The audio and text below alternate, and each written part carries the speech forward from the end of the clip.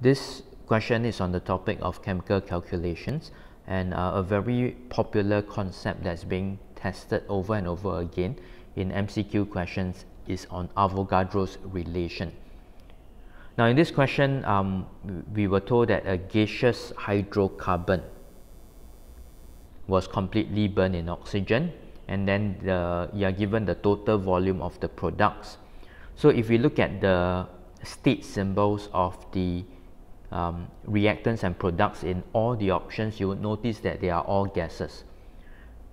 So we have already learned that reactions involving gases we can invoke Avogadro's, Avogadro's relation where the mole ratio is equals to the volume ratio.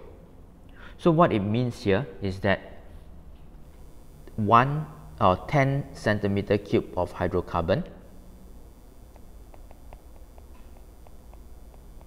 produces 70 centimeter cube of uh, products.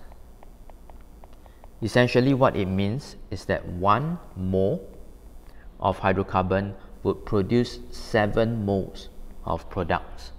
So for each option, we just need to find out the number of moles of products that are formed per mole of hydrocarbon.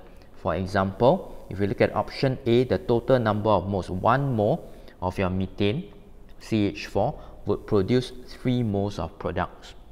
In option B, 1 mole of your hydrocarbon produces 4 moles of product.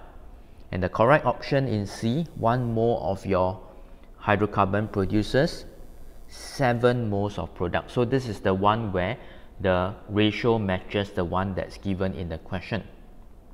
Now how about option D? Option D, um, 2 moles of hydrocarbon gives 10 moles of product. So essentially 1 mole of your hydrocarbon gives 5 moles of products.